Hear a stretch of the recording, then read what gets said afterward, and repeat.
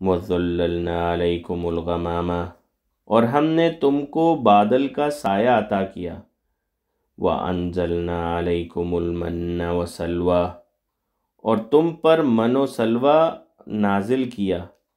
کلو من طیبات ما رزقناکم۔ اور کہا کہ جو پاکیزہ رزق ہم نے تمہیں عطا کیا ہے، شوق سے کھاؤ۔ وما ظلمونا ولكن كانوا انفسهم يظلمون اور یہ نافرمانیاں کر کے انہوں نے ہمارا کچھ نہیں بگاڑا، بلکہ وہ خود اپنی جانوں پر ہی ظلم کرتے رہے۔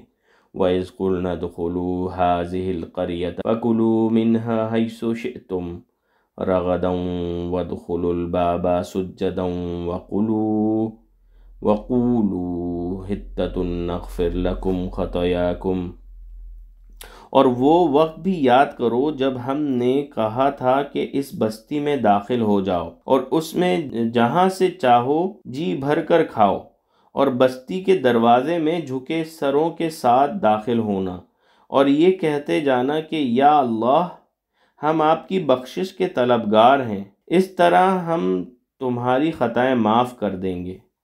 وسنزید المحسنین اور نیکی کرنے والوں کو اور زیادہ ثواب بھی دیں گے۔ فبدل الذين ظلموا قولا غير الذي قيل لهم فانزلنا على الذين ظلموا رجزا من السماء بما كانوا يفسقون۔ مگر ہوا یہ کہ جو بات ان سے کہی گئی تھی، ظالموں نے اسے بدل کر ایک اور بات بنا ڈالی۔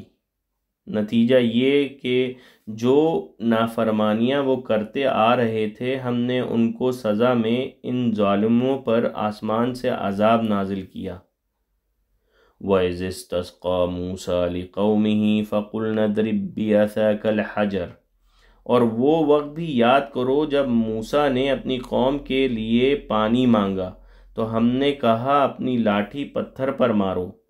فن فجرت من حسنتا شرط آئینہ چنانچہ اس پتھر سے بارہ چشمے پھوٹ نکلے۔ قد علم کلو اناسم مشربہم۔ ہر ایک قبیلے نے اپنے پانی لینے کی جگہ معلوم کر لی۔ کلو وشربو من رزق اللہ ولا تعثوا فی الارض مفسدین۔ ہم نے کہا، اللہ کا دیا ہوا رزق کھاؤ پیو اور زمین میں فساد مت مچاؤ۔